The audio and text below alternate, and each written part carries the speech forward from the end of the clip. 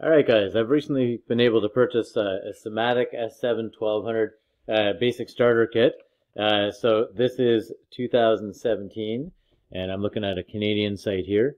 Um, and the price for these guys, are we in Canada? Yeah, so we're in Canada here. So the price in Canadian dollars for this guy is 868 bucks uh, for one PLC. So uh, it comes with, uh, oh that's cool, comes with Ethernet cable, uh, the PLC, a nice carrying box, the uh, the actual Siemens programming, and then it also comes with um, this little guy right here.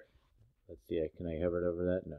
So you can see just in front of uh, the PLC um, that additional thing with those the little switches there, so the little dip switches, uh, and those tie into your inputs, so that you can simulate your toggling your inputs um, and you can do any program programming that you wish and just look at your output LEDs to see uh, when they turn on. Uh, so we're I'm looking at this and looking at uh, using the program Factory IO uh, for the simulation program. Then you can tie in the Factory IO right into the Siemens PLC. But let's see how we can get this up and running now. So let's drop this guy down. Uh, first thing to do is open up uh, the TIA portal. I use the uh, the version 14. Uh, most people, I believe, will have 13 with them. Uh, in the box, it came with uh, version 13 and version 14 um, on a CD. Uh, so place this onto the computer, and then updating the uh, the software actually took forever. So I'm not sure whether it was just my computer um, or just my luck, but it took a long time to update um, this program. Now it seems to be working fine.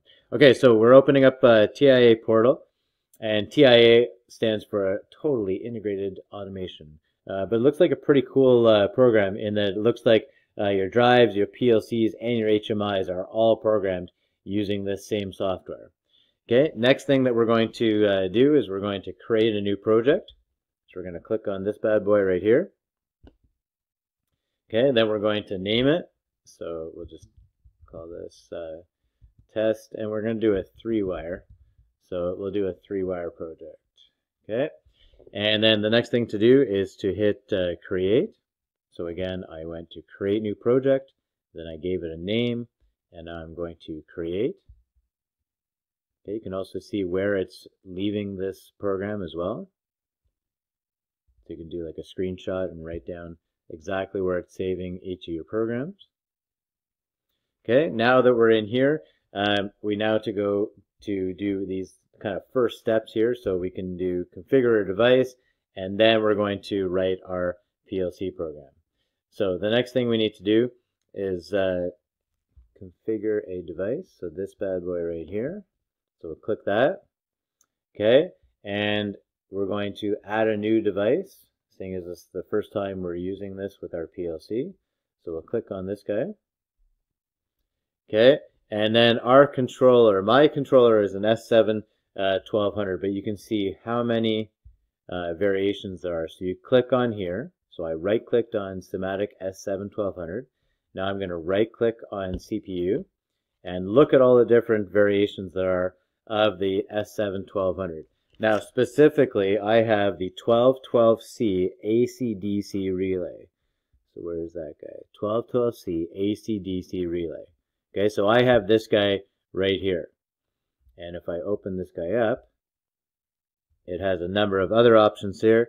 And mine is the 6E S7 212 1BE uh, 40 OXBO. So this guy right here. So I can specifically choose this guy.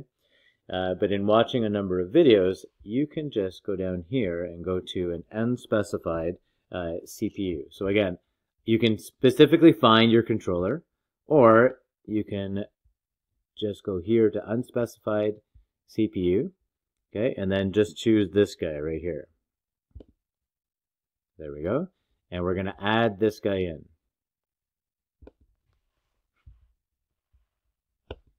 Come on. There we go. So I have to left click on it. I was banging on the right. I have to left click on that and that will add this guy.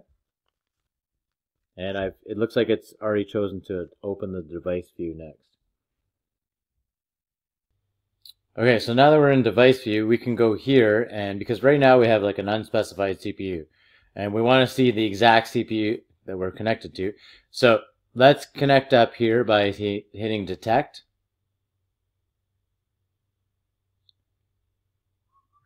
Okay, and so we're going to use this Profinet, and then I'm using the Surface Pro, so I'm going to use that Surface uh, Ethernet adapter.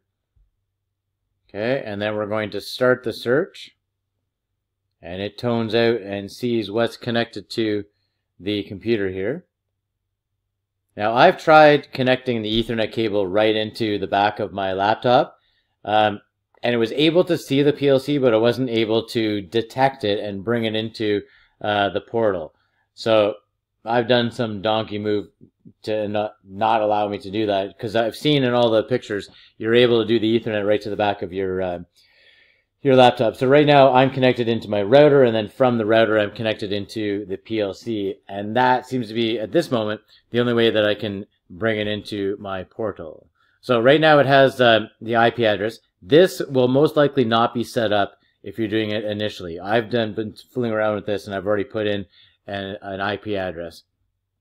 So our next step is we're going to take this PLC and then left click on detect and that should bring it into the portal here. Okay, so taking some time and then hopefully there should be an image right here of my step seven. Ah, yes, there we go. Okay, so um, if we want to see this a little bit uh, larger, then we can zoom in. So where's the, here we go. There's the zoom right there. So let's zoom in. There we go. Okay. And as we're zooming in, now let's just drop this down a touch. Then we can see all the, there we go. We can see all of our inputs here, right? So it looks like I have uh, eight inputs here. And then I've got my outputs on the bottom. So I have six outputs on the bottom there, matching with uh, exactly the PLC that I have. Excellent. Okay, the next thing we need to do is we'll double check that IP address. Okay, so if that IP address has not been made yet, you can go here to your Ethernet image, double click on that guy, and then we're already here on Ethernet addresses. And if I scroll down here a touch, um, then I can change the Ethernet sorry, the IP address.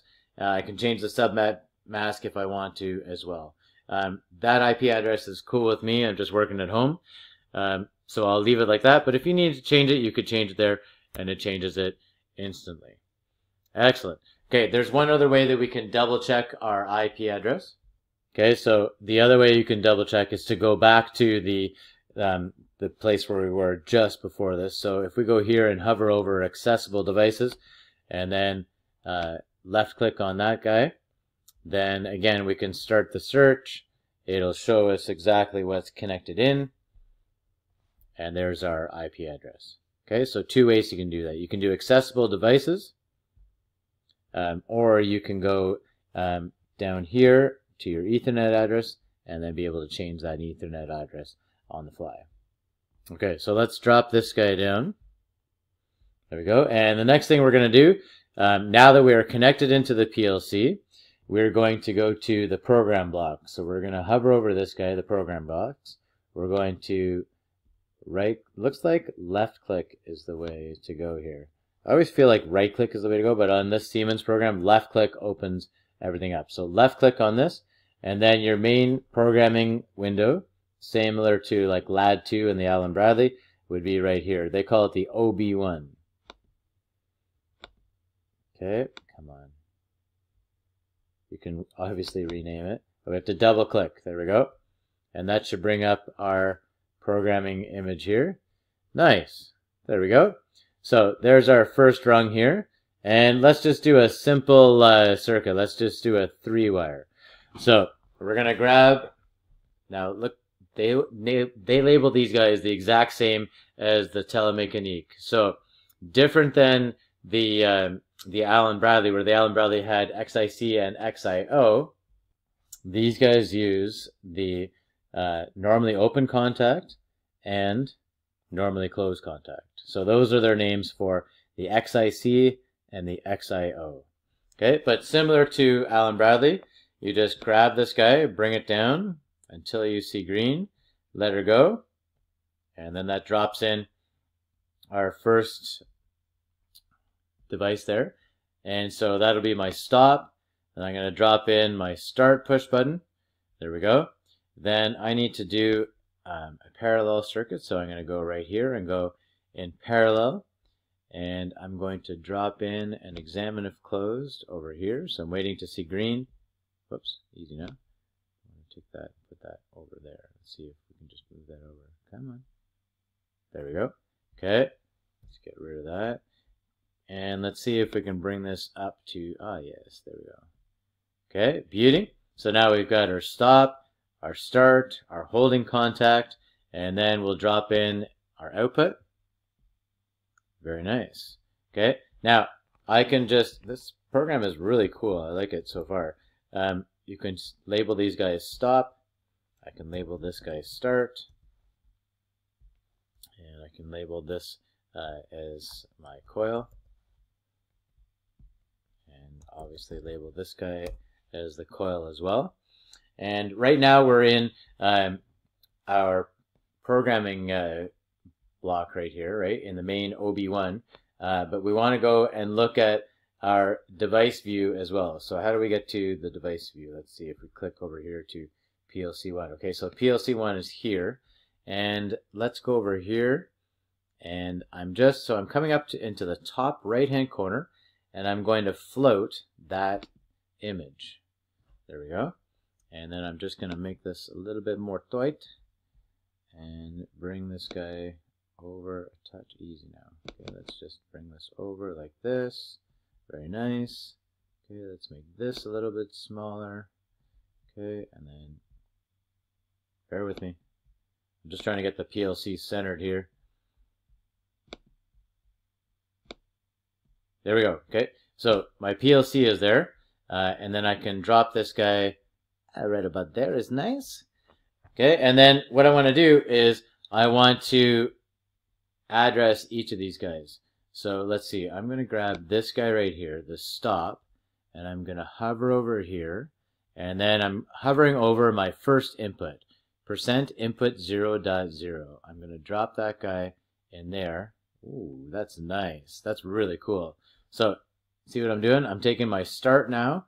I'm going to, it says my tag start is not defined yet, but I can literally just grab this, bring it over here, and hover over my next input, um, you might just be able to make out that it's percent input 0.1. So I'm using the left mouse button. I'm hovering over here. I'm going to let go of the left mouse button. And as soon as I do that, look at that. It's labeled this guy's stop for my input 0. And my input 1 is my start. Very cool. Okay. I want this to be an output.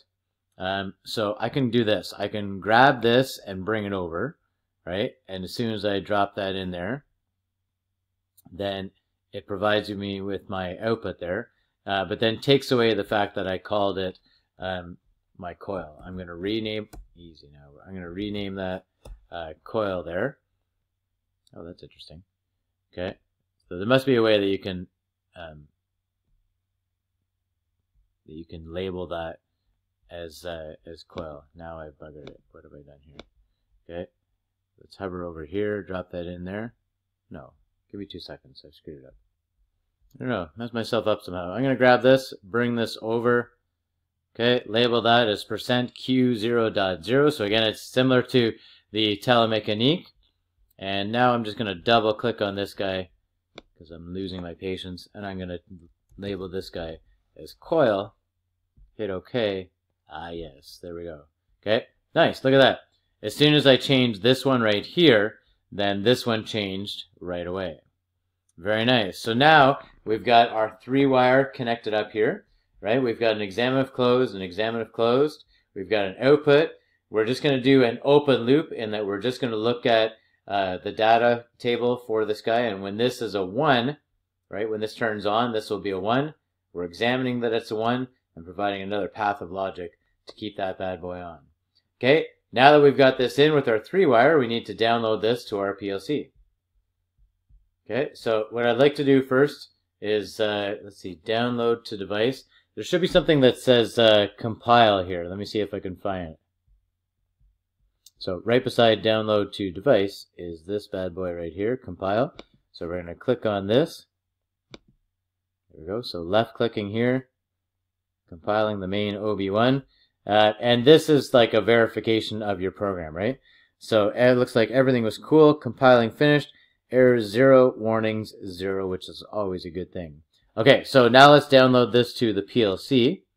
So we're going here to download to device, left clicking on that guy.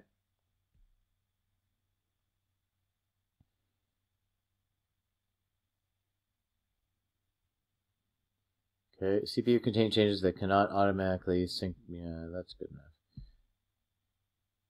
Okay, um, here where it says stop modules, um, they're asking you to uh, stop everything. Okay, different project version, uh, upgrade target device. Okay, sure. Okay, and then we're going to go here and we're going to hit load.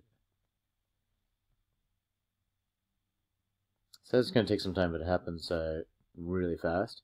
Okay, uh, and it's saying to start modules after downloading to device. Sounds like a plan. So we're going to hit finish. There we go. And uh, similar to the Allen Bradley, this guy doesn't go live right away. So in order to view exactly what's going on with the PLC, because we don't see any green lines anywhere saying that we're actually talking to it. So let's come over here and we're going to find monitors. So monitoring on and off. We're going to left click on that guy. There we go. So now we've got a green check mark here. We are talking to this guy and we're connected into the PLC and you can see that this is connected into the stop push button. Now I have all of my uh, push buttons open right now so I'm going to close the stop push button right now. Okay, so again I'll close this uh, stop push button. There we go. So you can see that as I change my stop push button, then it changes real time on the screen here. And then all I need to do is now close my start push button and that will turn on my control relay. Oh, very nice. Okay. And my output just turned on. Now I'm going to open up my start push button, but I should have another path of logic down here. Oh, very cool. So my output is still fired on on my PLC here. And now I'll hit the stop switch and that should kick out everything. Very cool. Okay, so the stop push button is now closed. Start push button is closed, energizing my control relay, turning my output on. I will now let go of my start push button. And then in order to interrupt this, I'll just open up my stop push button. There we go. And that turns off my control relay. All right, guys, that gives us a quick synopsis on how to get the TIA up and running, drop in a simple program here, like a three wire, download it to the PLC, and then be able to see it change real time in front of you. All right, guys, thanks for your patience. Hopefully that helped you out, and hopefully, hopefully you were able to get your PLC up and running. We'll see you on the next video. Thanks, guys.